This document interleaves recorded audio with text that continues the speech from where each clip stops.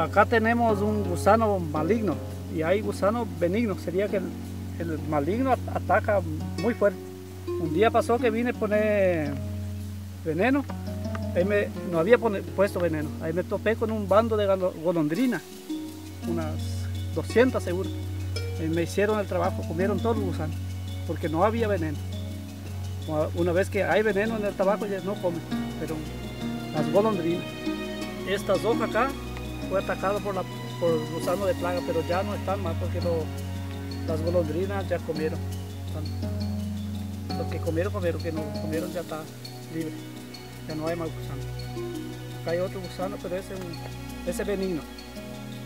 Dice que una avispa que pone el huevo, ella se muere solita. Ahí están los huevitos.